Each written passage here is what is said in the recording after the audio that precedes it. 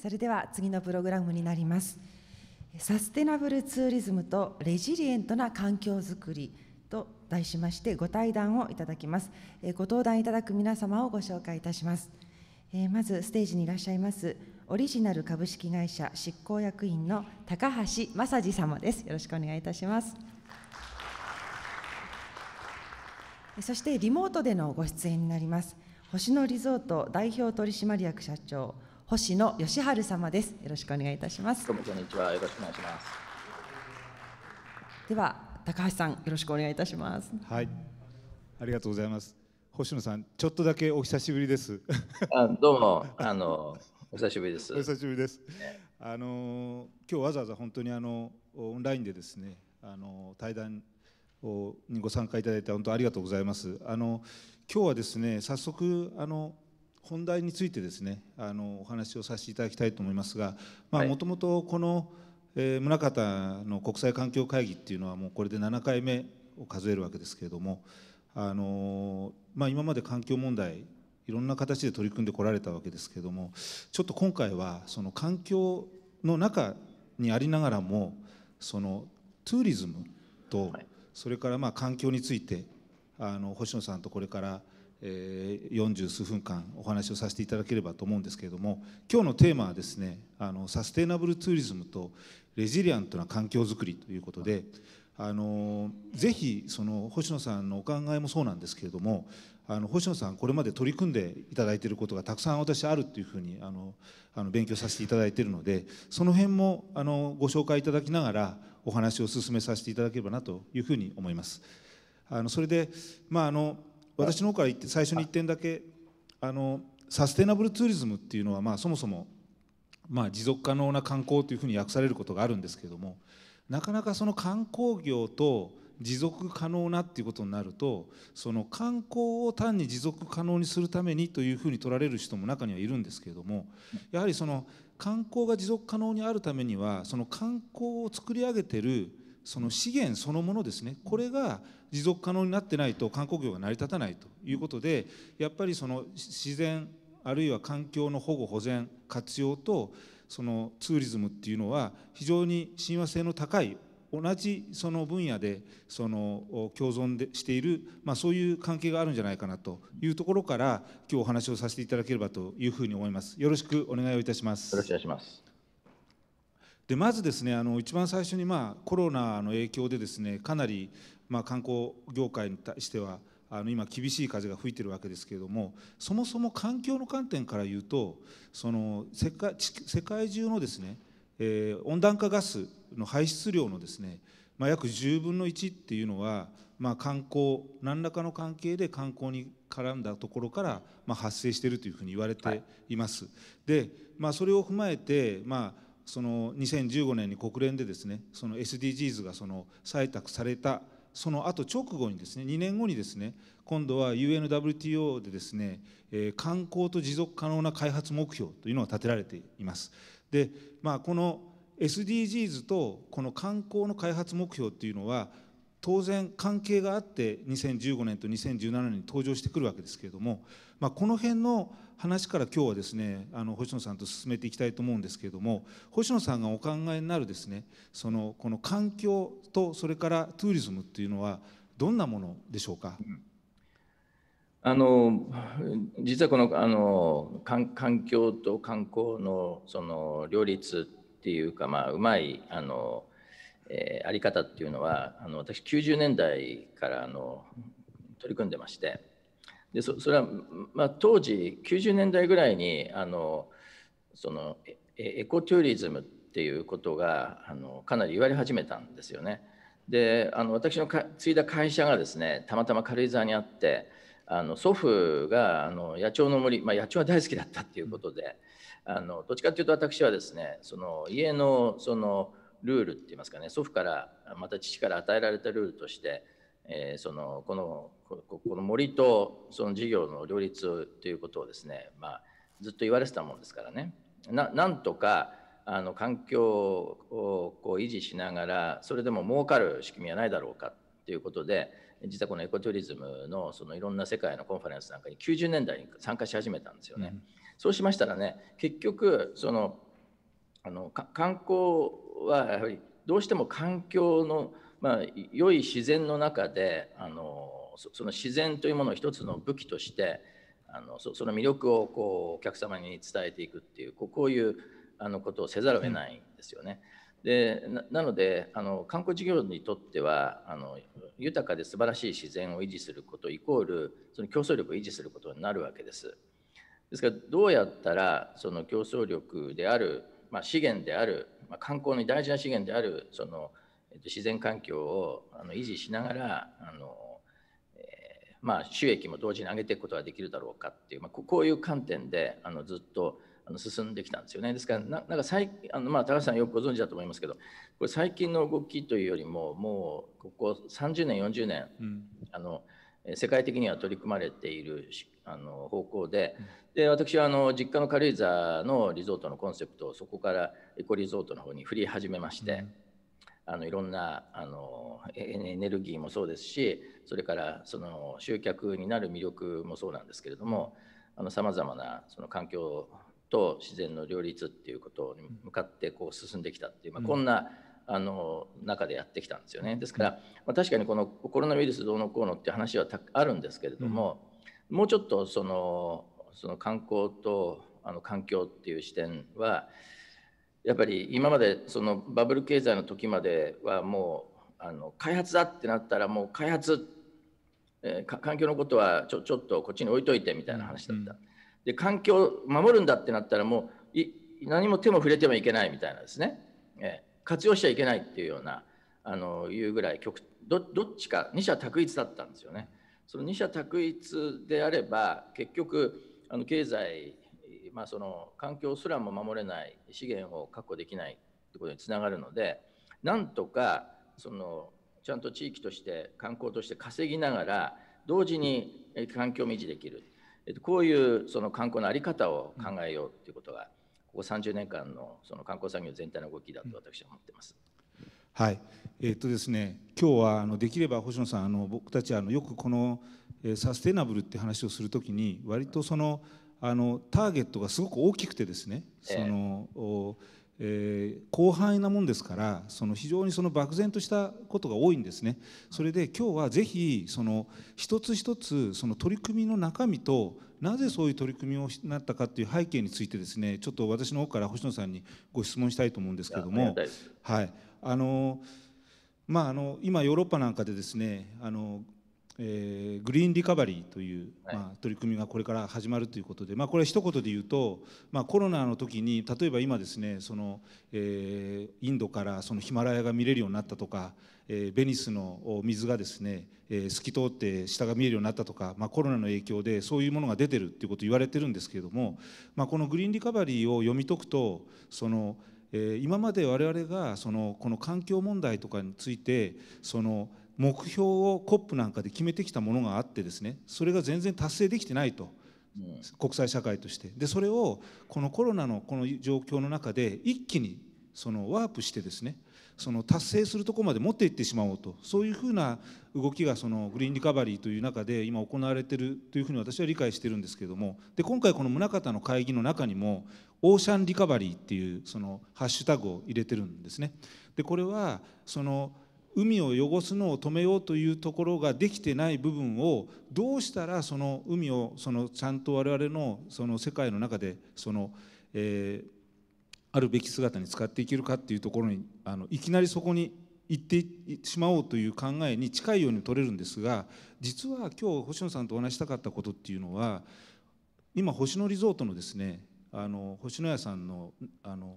長野県の軽井沢の話ちょっとされたところにちょっと私この間行かせていただいてあの思ったのがそのまあ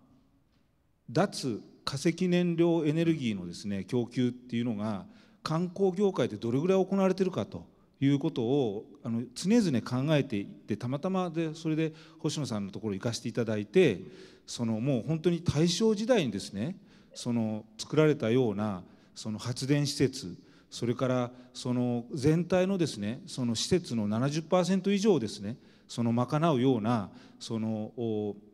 エネルギーの供給のですねシステムをそのリゾートの中に取り入れられていると。でこれについてその星野さんあまりその外であまり語ってらっしゃらないような気がするんですけれどもあのこういうものにたどり着いた星野さんのの最も一番あの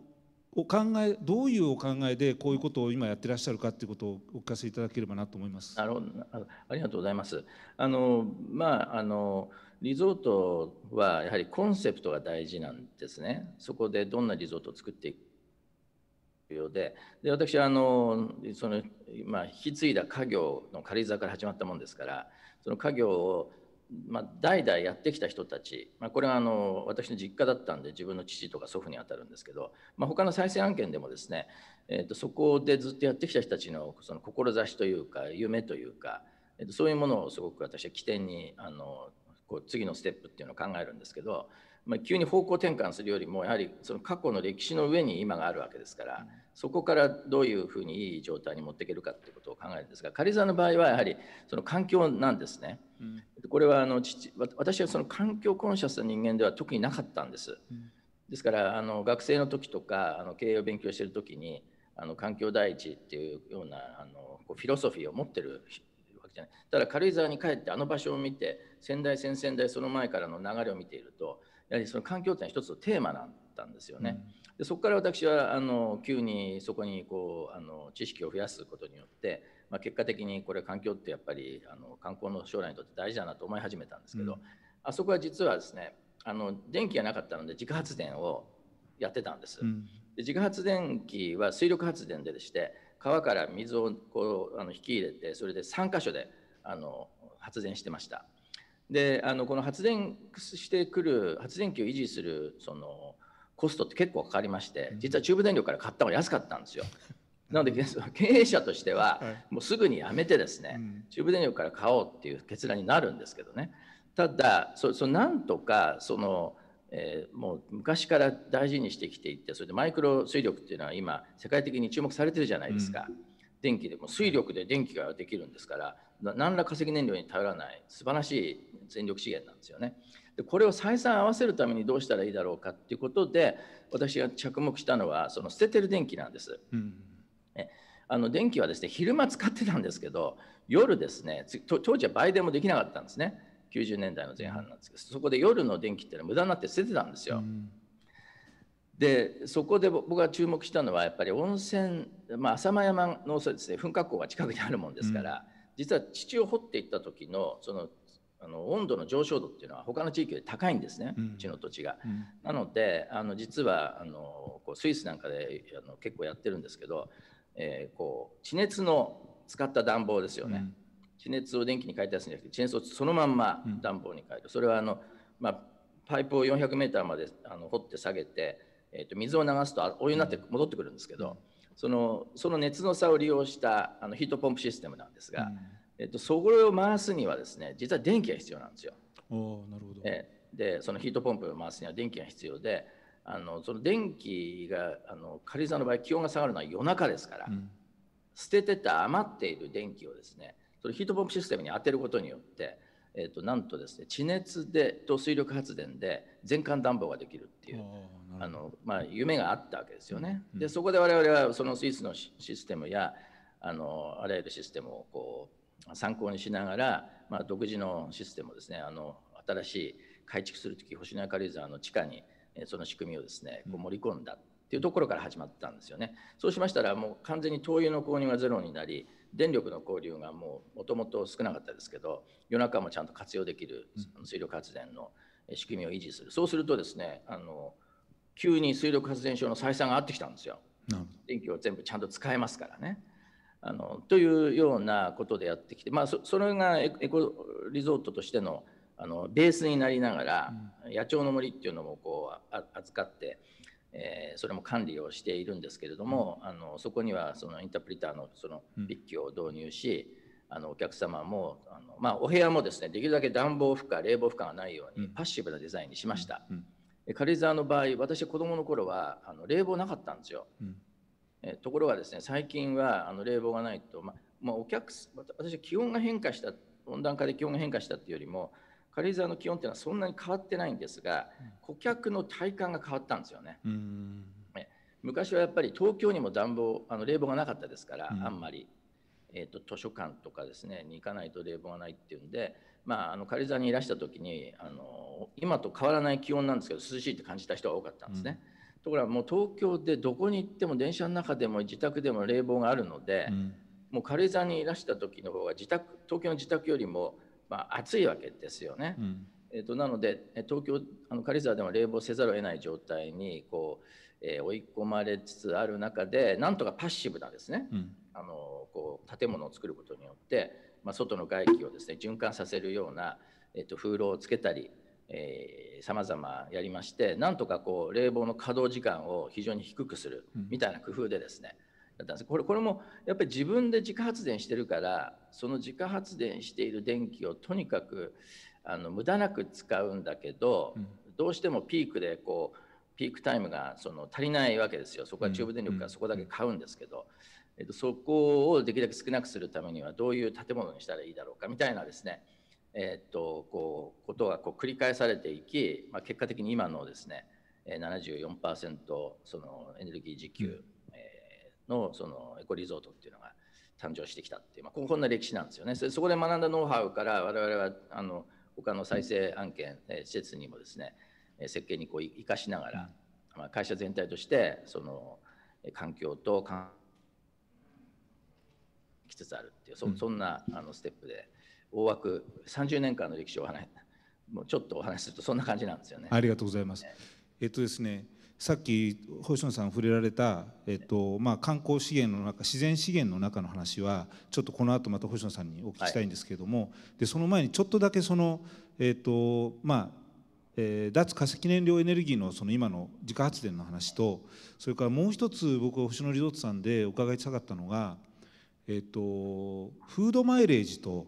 それからフードロスの話をちょっとお聞きしたかったんですね。はいでそれはその今 SDGs の中でもやっぱりフードマイレージフードロスっていう話っていうのは常に出てくる問題ですがというのは食というのはやっぱり我々が生きていく上でい最もやっぱり必要な、まあまあ、営みというかそのやその毎日そのすることのなあの一つなのででそうなった時に、えーわ私やっぱり自分の経験でもその自分で物を食べる時のフードロスフードマイレージを考える。一人この SDGs のそもそもそのテーマがその誰もその世界からですね取り残さずにみんなでその持続可能な世界を作っていくっていうことになるわけですけれどもでその時にその、えーフードロスとフードマイレージでやっぱり日本、まあ、世界もそうかもしれませんが特徴として例えば結婚式とかですね、その大きなそのイベントがある時にその出る大量のそのゴミとか食要するに食べ残しだとかあるいはそれをどこから運んでくるかっていうようなことなんですけどもこれをですねぜひその星野リゾートさんであの私がちょっとあの見させていただいたあの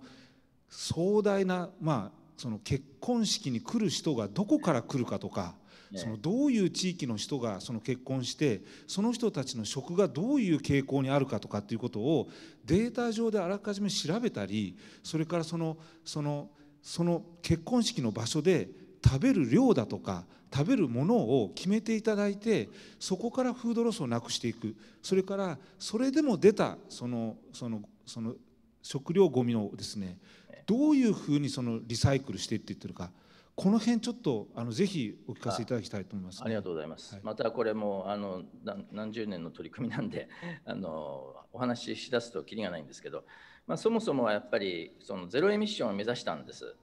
もうせっかく石油あの化石燃料も買わずにエネルギーを供給できているので、えートータルゼゼロエミッションを目指そうということでエコリゾートのそのコンセプトにこう追求していこうっていう、うんあのことだったんですね。であのけ結局ね私見ているとやっぱりそのフードロス、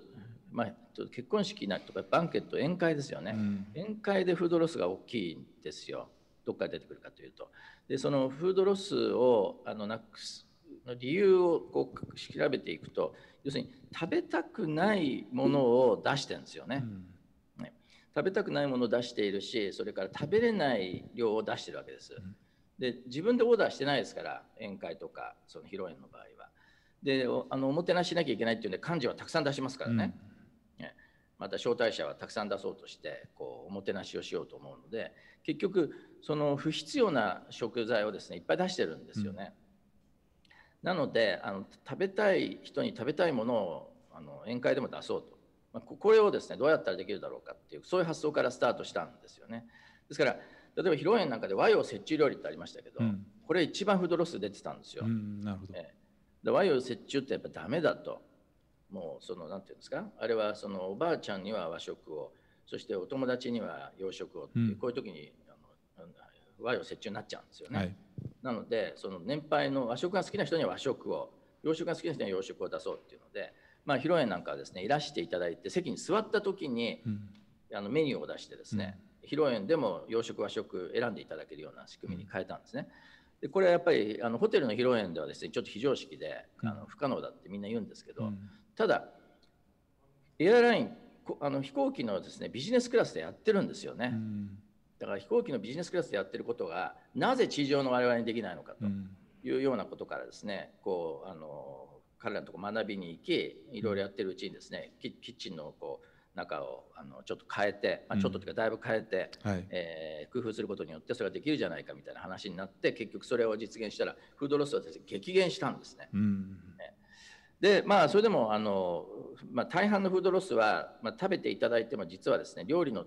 料理するその工程の途中で出てきます。うん、でフードロスをゼロにするってことはなかなかできないんですよね。うん、そのえー、生ゴミがゼロになるってことはできないんですがで生ゴミを堆肥化しようってことになって、あの北軽井沢の農家の方とですね連携して、うん、我々がゴミを運んで堆肥のところまで設定してもらってそこで我々も参加して一緒にやってます。うんで堆肥化したものをまたその生産の方に使っていただくっていうことをですねやってるんですけどそこでもねすごい面白いことが分かって、えー、堆肥化し始めてその一番我々がその農家から怒られることって何かというと実はその生ごみの中に不純物が混ざってるんですよ。うん、でそれって堆肥化する時に非常にマイナスなんですね。うん、あの農家さんの方では使えないものになるんです。その不純物の大半が実はそのフォークとナイフだったんですよね。つまりけ結構ホテルで働いてると分かるんですがフォークとナイフってなぜかなくなるんですよ。なぜかなくなっていてこれあのブレイケージとかいろいろこうコストのところにあの表示する項目がありまして、うん、えそれでこう買いある程度こう買い足していくわけですよね。うん、えですけどその僕が初めて気が付いたのはフォークとナイフっていうのは誰かが持ってってなくなってんじゃなくて、うん、実は捨ててたんだってことはですね、あの今回、まあ、今回っていうかもう二十何年前なんですけどそこで初めて分かったんですね。でそこであの我々はその重さを測ったりする中であのこう飛行機なんか乗る時に金属探知機ってあるじゃないですか。うんうん。であれをゴゴミと一緒に持って渡ってもらうとかですね、いろんな工夫してとにかくフォークナイフが生ゴミの中に含まれていないかっていうあの把握するだけで、随分ですねその捨ててたものがあの捨てなくて済むので、コスト削減にもなったんですよね。っていうようなあのことをですねこう積み重ねながら今あのフードロスがない世界、まあ、あの極限までに少なくし、出た生ごみは全部退避化すると,、えというようなことであのリサイクルを達成しているっていうのは今の我々の現状なるほどね。なるほど。いや僕本当にですねその今そのフードマイレージもそうなんですけれどもそのやっぱりその、えーどこの地域から来るお客様が例えばどういう傾向で食を好まれるのか塩辛いものなのか甘いものなのかいろんなものそういうものをあらかじめその分析をしてその傾向と対策をきちんと考えながらその中もうもちろん最後はそれでも出てはしまうんですけれども、まあ、そういう取り組みをやるということが我々は多分このリカバリーにとってすごく大事なことなんだろうなというふうにあの思います。で星野さん実はその、えー、軽井沢の星野屋さんにはですねあの、まあ、もう一つのすごく大きな私にとって、まあ、魅力というか関心のものがあるんですがそれはその、えー、星野さんと私の共通の関心事項の中の一つにですね、まあ、あの自然要するにまあ、日本でいうとこの国立公園だとかあるいはその世界でいうとこのその世界遺産だとか世界自然遺産みたいなものがあって、まあ、星野さんが今まで人生の中でその、えーえー、行かれたですねその世界中のそういう自然大自然自然公園あの私が行ったところと同じところあの2人行ってるところが多いんですけれどもでその中でその私あの世界遺産の登録に携わっててですねいつも思うのがその世界遺産に登録するとまず考えるのは特に自然系の世界遺産そうなんですけどもまず第一に保護保全っていうのは錦の御旗になるわけですね。ですで私はこれまあ賛否両論いろいろとあると思うんですけれどもその世界遺産を本当に自然を守ろうと思ったらやっぱり活用をして自然の楽しさと大切さを分かってもらうというプロセスが絶対必要になってくると。でその観点からその今星野屋さんが取り組んでらっしゃるその隣に隣接しているあのピッキオというですねそのまあインタープリター要するに、え、自然をどう楽しんで自然の大切さ生あの生態系の重要性を分かりながら楽しむツアー。こういったものがこれから日本ではもっともっと進んでいく必要があるんじゃないかなと私はあの日本の自然遺産というのはすごく素晴らしいものがあるにもかかわらず実は日本人自体自身があまりその価値を分かってないんじゃないかというふうに思ったりするんですね。その辺の星野さんのこのあのちょっと今自然とインタープリターというところでお話を聞かせていただきたいなと思います。あのインタープリターも私ももう海外から本当に学んできたあの仕組みなんですけれどもあのやっぱりそのまあ一つインタープリターのというのは、まあ、簡単に言うとその要するにツアーガイドなんですよねあの分かりやすい表現で言えば。ただ単なるツアーガイドではなくてその自然その環境そこにいる鳥動物植物について圧倒的な知識を持っていてでその知識をですねしっかりと面白く楽しく説明する、えー、能力を持つことによって、まあ、顧客の満足度を上げていこうとこうこういう仕組みなんですね。ですからあのそのメリットって何なのかっていうと第一にですね今あの高橋さんおっしゃっていただいたようにその環境を保護していくには利用者がルールを守って、うんうん、えー、この自然を楽しんでいただかなくてはいけないわけです。そのゴミの問題だけではなくてですね枝を折るなとかですねさまざまなそのルールを守んない人たちがいるんですよね。でこのインタープリター付きのガイドツアーっていうのは実は楽しいながらもしっかりとルールを説明することができます。しルールをあの守らない人はその場で注意することもできるんですね。なのでルールを守ってそのこの自然豊かな観光地を楽しんでもらうための、まあ、ガイドというよりもですねこう監視する人でもあるんですよね。そしてルールを伝えるレンジャーでもあるわけです。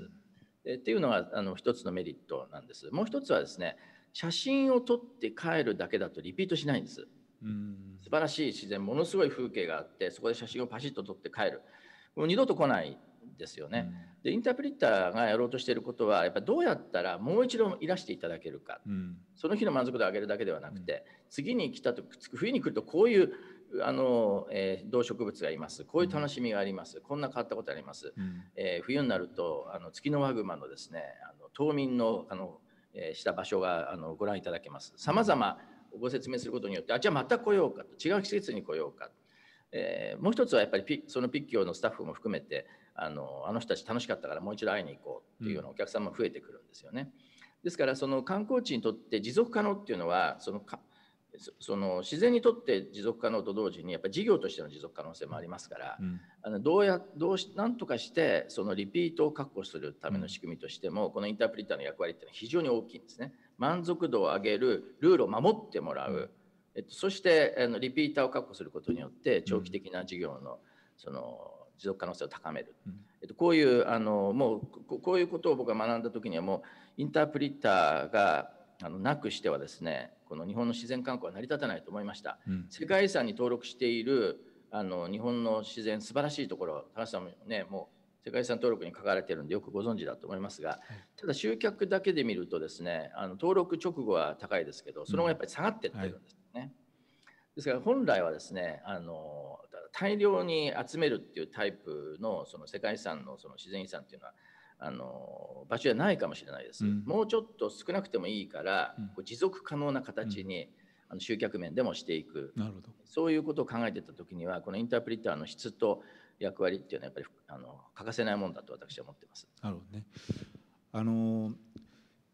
世界遺産を登録あの実はなぜ世界遺産の話をしているかというと宗像にもですね、えー、世界遺産の構成資産があるんですね。沖ノ島とそれを含む構成資産ですけれども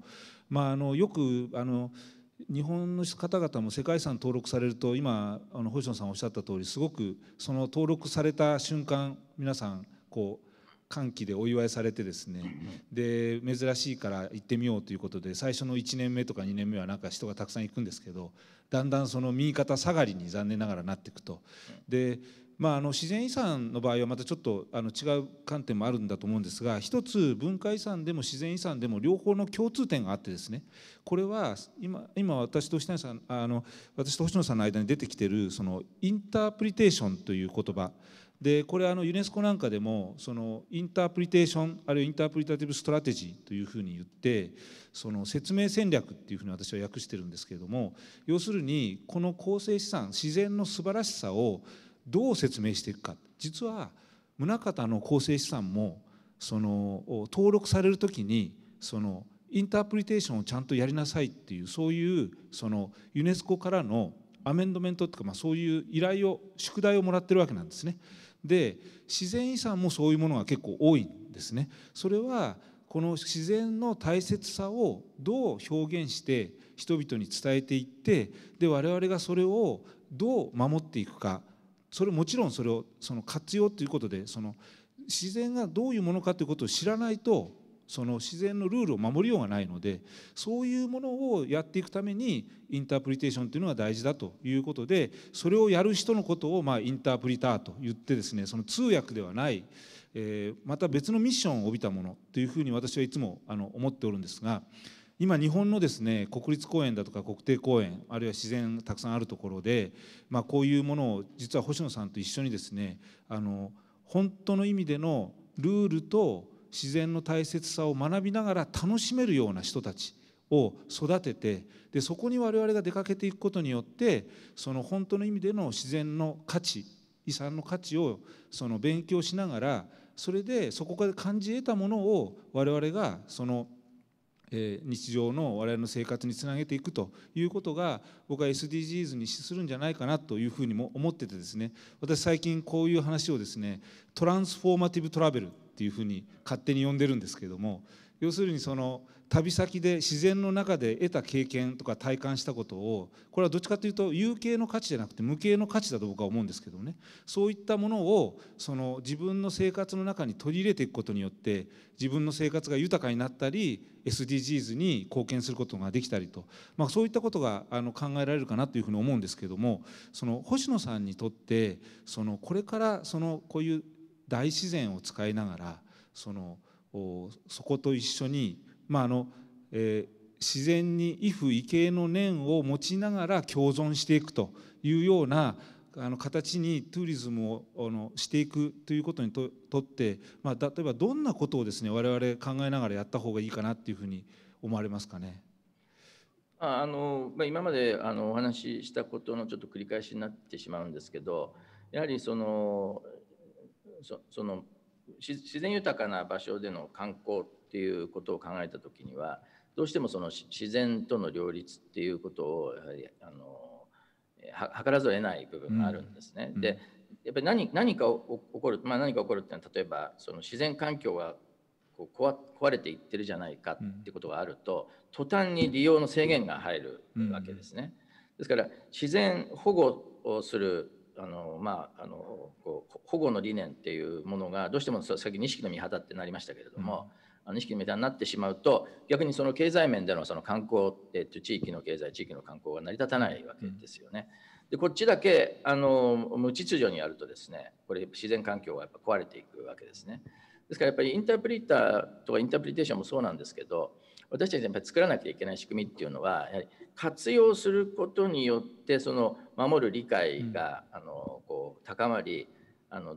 なおかつその活用してもですねその自然の環境そのものはあまり壊れていかない、うん、逆に保護するための資金がですね、うん、えー、とどっかからもらう税金ではなくて実はその活用することによって得られた利益の一部をちゃんと保護に回していく、はい、えでその方が促進されているっていういい循環をそこでも作っていくっていうことがですね、うん、あの私はそのすごく大事だと思いますね。なねなのであのまあそのやっぱお金の話にやっぱりこれなりがちなんですけど私お金の話はすごく大事だと思っていて、うん、結局その環境保護をすると言ったってお金がかかるわけですよ。うんですからそのお金をどこから調達しどういう循環で回していくのかっていうことをあのそのエコトゥリズムえーの中でサステナブルトゥリズムの中でしっかりと確立できればうんうんこれはすごく強いと思うんですよね。え結局あの毎年どこかから税金をもらってくるってなるとそれは環境保護とか自然保護のために十分じゃないお金に今なってるわけですね。うん。ですから自分たちであの十分な資源を確保するためにもですねやはり経済との両立を図っていくっていう、うん。そういう考え方がすごく大事だと。なるほどですね。あの今の、まあ、環境を守っていくためにかかるコストっていうのはもう避けられないものであって、あのそれをどう捻出するかっていうこともちゃんとできてないとサステナブルなうんツーリズムもできないしそのレジリアントな環境もできないということだと思うんですけども。で星野さんその実はもう一つ星野さんに伺いたかったのがその、えっと世界中のですね世界自然遺産なんかを見てるとやっぱりすごく素晴らしいその、えーガイダンスセンターとかですね。うん。そのインフォメーションセンターがあるんですね。私これあのアメリカとかオーストラリアなんか見ててもですね、えー一日中実はそこで過ごしてても退屈しないぐらいのやはり素晴らしいその能力を持ってあの自然の説明が聞けたり楽しめたり食べ物が食べられたりいろんなことができるそういう施設があるんですけども、まあ、な日本のそのまあインフォメーションセンターとかガイダンスセンターっていうとどうも非常になんかこう退屈なものがすごく多くてですね。その入ってまあ5分か10分するとさらさらっとこう見てもういいかなっていうことになっちゃうんですが星野さんが今まで体験されたり考えてらっしゃる中でそういうガイダンスセンターだとかインフォメーションセンターの価値というものはどういうふうにお考えになってますか？あのやっぱりその今まではその、まあ、保護のための情報提供っていうような仕組みで来ましたね。うん。あの日本はビジターセンターがないわけではないじゃないですか。はい。い、っぱい環境省さんがね、はい。あの作っていただいていて各国立公園にあのたくさん今そこの整備も少しずつ進んでたりうん。多言語化をしようなんていう動きがですね、あの進んでたりするのは事実なんですけどどうしても修学旅行のそのあのこうターゲット的な感じに僕には見えてるんですよねまだ、ね、学生とかですねの人たちに。だからファミリーで来てとか大人だけで来てまだ楽しめるようなものになってないっていうのは、あの現状なのかもしれないです。ですからもうちょっとそのあのエンターテインメントの部分っていう、まあ、さ先ほどちょっと飲食の部分なんかお話ありましたけどね、はい。飲食の部分との連携とか滞在をするところの連携滞在ってのは泊まらなくてもいいんですけども、それと先ほどの,、えーこうおあのインタープリッターがそこからガイドに発信するような仕組み作りですね。っていうこととあの融合することによって単なるインフォメーションセンターの役割から、えー、と私はそのあの滞在できるまたそこに行ってそこからいろんなツアーが発信されているうんっていうような、あのものにこう変わっていくと一番いいんじゃないかなとあの感じてます。なるほどね。あのこのですねそのインタープリターの話から今自然遺産の話自然環境の話になってるんですけどもあのちょっとその今年の話で言うと例えば、えっと、たまたま今年ですねあのコロナの影響で、えー世界遺産委員会が開かれてなくてですね、でまあ、日本が今あの推薦して登録をしようとしている、まあ、あ西表だとか、あるいはやんばるだとか、えー徳之島あそれから奄美大島というようなところをですねこれから世界自然遺産に登録したいというふうに我々は思ってるわけですけれどもその例えば今その僕も西表に行ってこの間その世界遺産登録の前に少し勉強させていただいたんですけれどもその例えばそのあの西表ヤマネコですねこれあの、まあ、エンデミックスピーシーの中、まあ、レッドリストの一番厳しいものの中に、はい。あのえー入ってるわけですけれどもちょっとお話を聞いたところその無農薬の稲作を、まあ、西表では何百年もやってきてると。でその島民がそういう稲作をしているところのその生活環境を守ることによってその、えー、西表あの西表山猫なんかのその餌場がですねその、えー汚染されたりしないようにということで伝統的にそういうことを島の人たちがやって守ってきたと。でこうしたですねその、えーその農薬を使わないで自然をありのままで守っていくようなそういう生物の多様性を重視したその地元の人たちの取り組みでこういったものとそれから我々例えばこれからそのそういうところに行って学んだり感じたりしたいと思うその、えー、サステナブルツーリズムとのこの親和性、まあ、そういう特にこの小島、まあ、要するにその離島なんかはですねその自然資源がすごく、まあ、限られた中にこう凝縮してるわけですけれどもあの星野さんもあのいろんなところでその、えー、リゾートを手掛けられたりそういうツーリズムのことを考えていらっしゃると思うんですがこれから我々がそのこういうサステナブルツーリズムをこういう例えば西表だとか、えー、日本の各地でやるときにやはりあの考えていかなくちゃならないようなこととかこういうことをやるとすごくよよくなるよねっていうようなことっていうのはありますでしょうか？あのまああの2つぐらいあってあの1つはやはりその先ほどちょっとお話ししたんですけどその収益の一部をどうやったら、うん、まあ、まあ要するに西表にしても本来やるべきことと本来やりたいことのために十分な予算がないっていうのは事実なんですね。うん、であの確かに食事あ、まあ、食事というか食べ物によるその、まあ、こう生息域の保護とかですね、うん、えーと、食の問題とかで西表山猫を保護していこうって分かるんですけど、うん、実際に数を一番減らしてるのはロードキルでもあるんです。ロードキルってやっぱり道路に出てきて、はい、そこであの車と衝突するっていうケースが一番その、まあ、殺してしまっている、あの現実でもあるんですね。でそれをじゃあどうやって防ぐのかってやっぱり予算が必要で、うん、どうやどういう活動をしていくのかってことを現地の NPO の団体もいますけども、えっと、そこもですね資金が十分であるわけではないんですよね。うん、どうやったらその観観光を促進することによってその観光の在り方そのものはその当然ながらの自然環境との両立を図っていくそのインタープリターを通じた内容にしながらですね、うん、その収益の一部をどうやったらそういうその活動に回していけるかってことだと思うんです、うん、そうすると初めて両立する姿が見えてくると思うんですよね。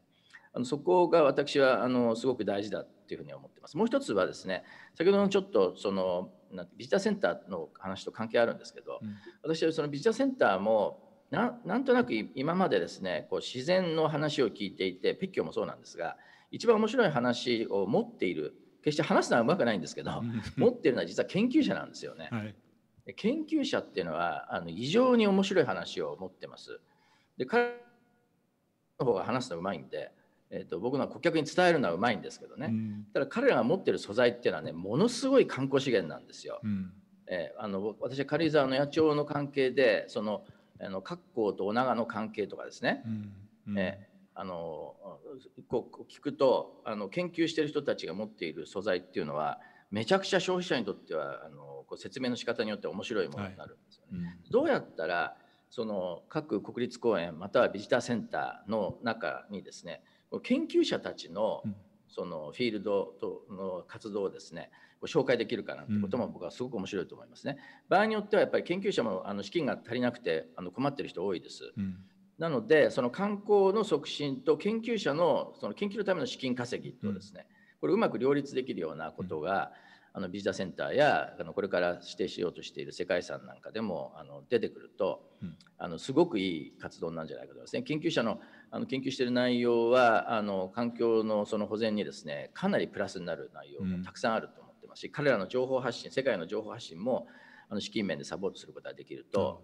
ですね。だやっぱりお金の話になっちゃうんですけどお金を通じてあの環境に良いことをやろうとしているまたはあのやらなきゃいけないことをいかに観光があのサポートできるかっていう、ここのギブアンドテイクの関係をしっかりとがっちり組むってことはですね大事じゃないかなと私は思います。ありがとうございます。あの一点だけあの前にですね世界遺産に登録したものの中に一つにですねあの長崎の羽島っていう炭鉱があるんですけどこれ軍艦島ってあのよく皆さん言われてるものですけどあそこに私行った時に思ったのがあれ実は入れるとこ制限されてるんですけどもよくよく見るとですねあの島を支えてるまあ柱ですねこれもうほとんど侵食されててもう今グラグラなんですよね。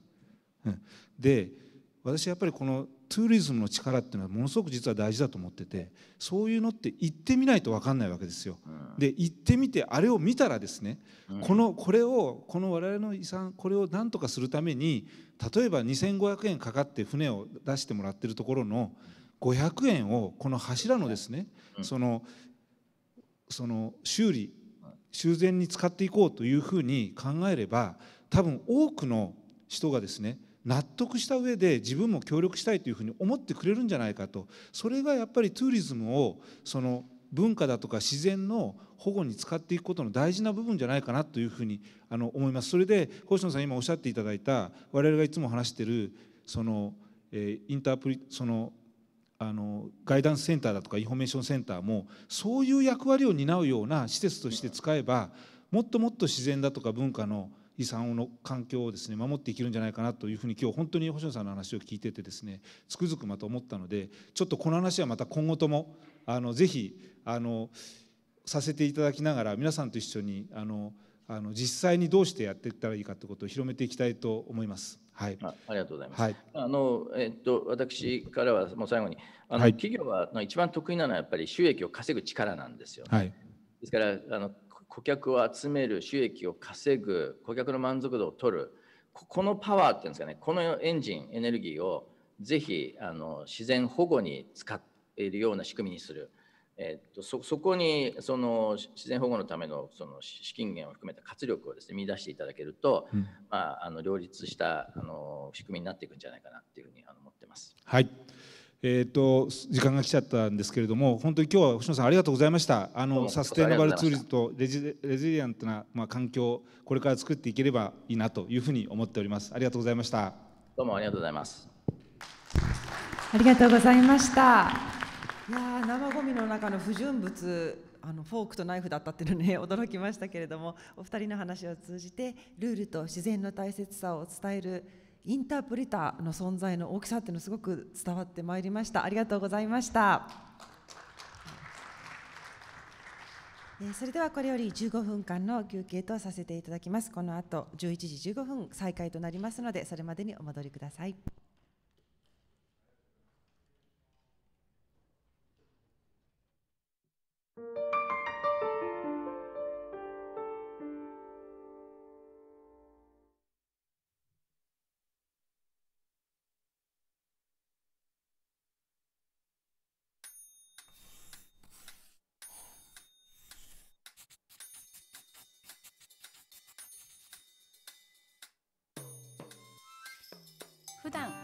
意識することはないけれど身の回りを見てみると鉄はたくさんのものに使われている。大きなものから小さなもの高温から超低温長く使うものまであれも鉄これも鉄。実は地球上で使用されている金属製品の90%以上が鉄でできているんだ。それだけいっぱい使ってなくならないの？って思うかもしれないけど鉄はなんと地球の重さの3分の1を占めるほど自然界にたくさんある。地球は水の惑星というけど鉄の惑星でもあるんだよ。地球がなくならない限り鉄がなくなることはない。もう一つ鉄はリサイクルのチャンピオン。だから何度でも再利用できるんだ。使い終わったら埋め立てられたり燃やされたりする素材が多いけど鉄は捨てられることはない。磁石にくっつくから他の素材に混じっていても鉄だけちゃんと回収され昔からずっと知らないところでしっかりリサイクルされているんだ。硬くてなんだか頑固そうなイメージだけど実は何度でも何にでも生まれ変われる柔軟な素材。昔は世界を旅する船だった鉄が今は君のお家の車になっているかもしれないよ。けれど最近は車を作る時鉄より軽いアルミニウムや炭素繊維が使われることも増えている。それは車を軽くすると少ない燃料で長く走ることができるから。環境にも優しいってことでこうした車に乗る人も増えているんだ。でもちょっと考えてほしい。それって本当に環境に優しいのかな？素材を作る時使い終わった後のことまで考えるとどうなんだろう。例えば作る時たくさん電力を使うアルミニウムや超高温で熱処理する炭素繊維に比べて鉄はとっても省エネ。特に日本の鉄は世界最高水準のエネルギー効率で作られているんだ。しかもペットボトルの水より安く作れるから車の価格を抑えられるというメリットも。使い終わった後はどうだろう？アルミニウムはリサイクルできるけど不純物をほとんど取り除けないから鉄のようにガサッと集めて何度でも何にでも再利用するなんてことはできない。炭素繊維は回収も再処理も難しく燃やすこともできない。今世界で年間1億台近くの車が作られているけど例えばそれがリサイクルできない素材でできていたらゴミの山だらけになっちゃうよね。じゃあ鉄の場合は？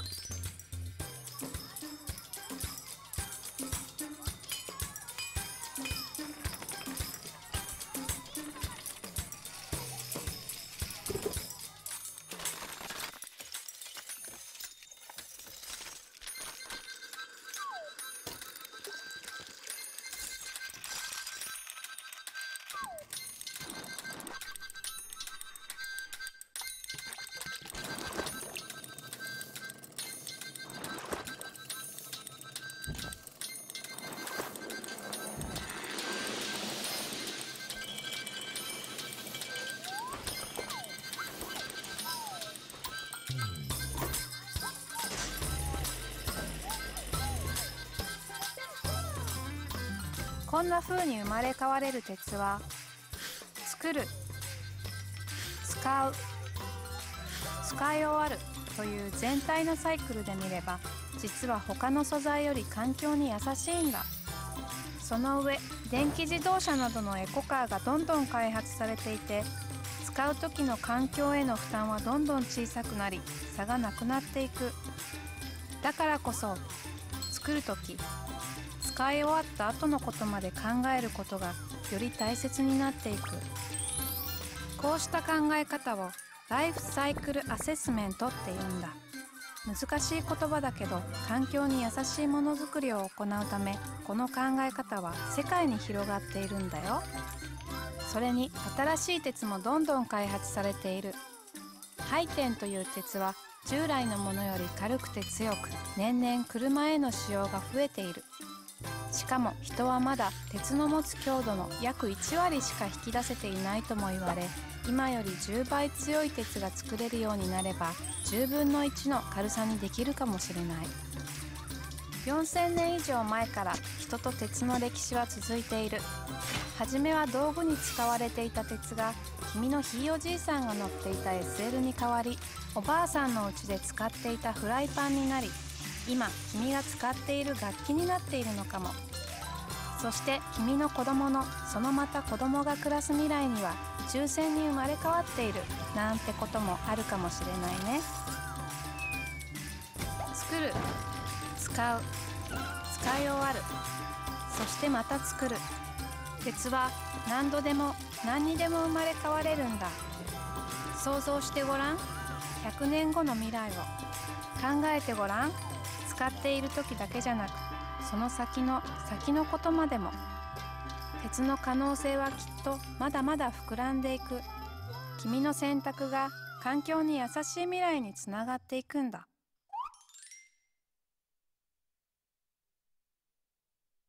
ロータリーのネットワークで人と地域社会がつながり大きな力を生み出します。私たちはロータリー。世界を変える行動人です。100万人以上の会員が共に行動して素晴らしいことを実現します。世界各地でリーダーが世代を超えた友情を築き地域社会の課題に取り組み困難なことも実現しています。私たちと一緒に行動しましょう。詳しくはロータリー .org をご覧ください。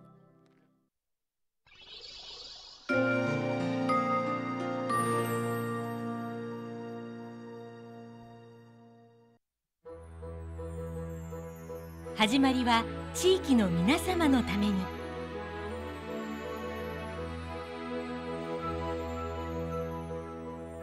昭和28年人々は戦後の荒廃から抜け出し新しい未来を築こうと意欲を燃やしていました。地域社会の繁栄を陰で支える。そんな大きな使命を抱き筑豊銀行は生まれました。お客様が描いた夢を実現するお手伝いをしながら地域の皆様と共に歩んできました。お客様のために何ができるのか。私たちは奉仕の心を胸に考え続けます。お客様の笑顔のため新しい未来のために私たちは地域を起こし共に成長発展する銀行をスローガンとしています。筑豊銀行は2019年8月に開催された第6回宗像国際環境会議において九州電力 SBI グループと共同し地域通貨トコワカ通貨を提供しました。地域通貨を通じて地域における新たな資金循環の仕組みにより地域活性化につなげたいと考えます。筑豊銀行筑銀は銀行業務を通じた地域経済への貢献はもとより地域社会の一員として地域の発展を願いさまざまな社会貢献活動を積極的に展開しています。